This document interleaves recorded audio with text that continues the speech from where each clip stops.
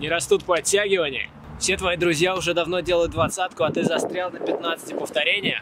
Значит, ты открыл правильный ролик, потому что сегодня я познакомлю тебя с методом, который позволит быстро увеличить количество подтягиваний. Блин, в этих очках я чувствую себя максимально нелепо на воркаут-площадке, но из-за этого проклятого солнца, которое слепит в лицо, снимать по-другому просто невозможно, я вообще ничего не буду видеть.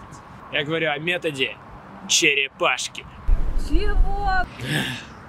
Существует ровно 37 разных способов увеличить количество подтягиваний. О каких-то из них я уже рассказывал на канале, и ссылки я размещу в описании. О других я только буду рассказывать. И сегодня как раз такое видео, когда я тебе расскажу о новом методе.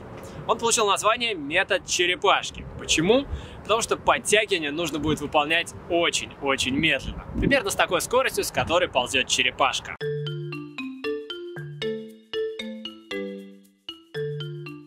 И помни, что пока ты не подписался на канал Street Workout, ты никогда не сможешь потянуться больше 19 раз, что бы ты ни делал.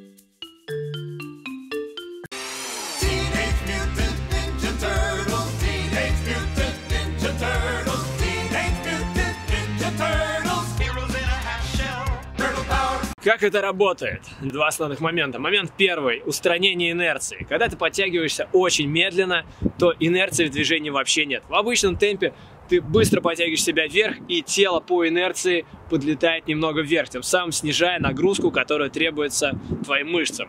На обратном пути вниз ты также фактически руками только держишься за турник, а вниз тебя опускает сила гравитации, и она выполняет всю работу. Если же ты опускаешь себя подчеркнуто медленно, то в каждый момент времени ты противостоишь этой силе.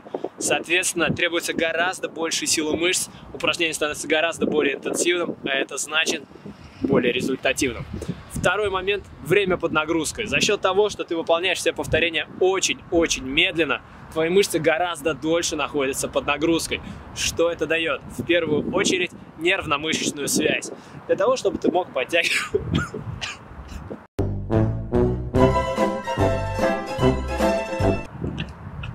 Холодно на улице, так говорить быстро.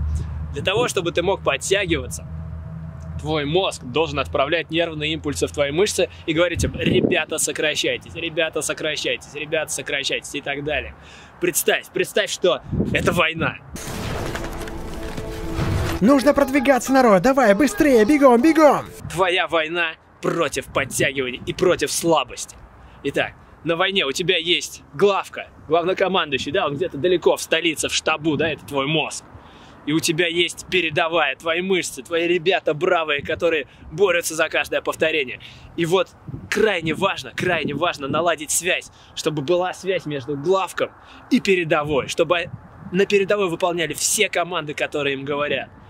Во Второй мировой, если вспомнить, Советский Союз нес огромные потери в первое время войны именно потому, что не была налажена связь между центром между различными подразделениями и между передовой. И как только удалось это наладить, тут и пошел перелом в войне. То же самое в подтягиваниях, то же самое. Тебе нужно выстроить нервно-мышечную связь. Как она выстраивается? Именно за счет медленного выполнения повторений. Чем больше твои мышцы под нагрузкой, тем больше сигналов должен отправлять центр.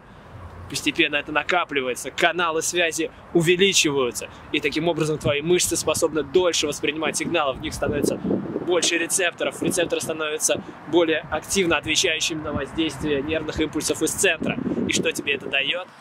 Когда ты потом перейдешь на обычные подтягивания, ты сможешь легко выполнить больше повторений, потому что, во-первых, они легче, как я уже сказал в первом пункте, интенсивность медленных подтягиваний намного выше, чем обычных.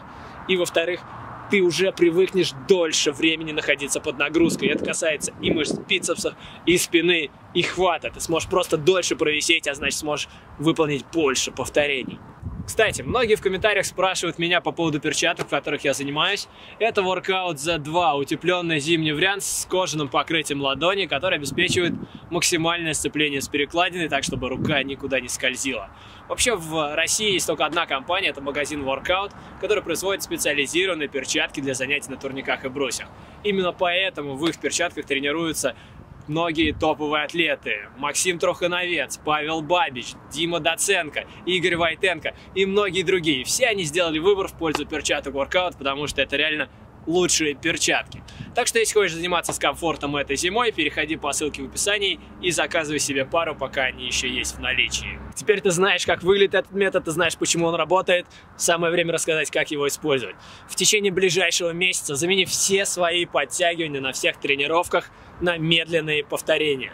Допустим, тебе на тренировке нужно сделать 5 подходов по 10 повторений обычных подтягиваний, ты привык так делать. Замени их все на медленные. Если ты не можешь сделать подход целиком, не можешь сделать 10 медленных подтягиваний, тогда разбей на несколько подходов, но каждый из них выполняй на максимум. Твоя задача выкладываться на максимум, делать медленно. И тогда я гарантирую, что через месяц твой максимум в обычных подтягиваниях вырастет. Это просто неизбежно, так же как то, что завтра солнце взойдет на востоке.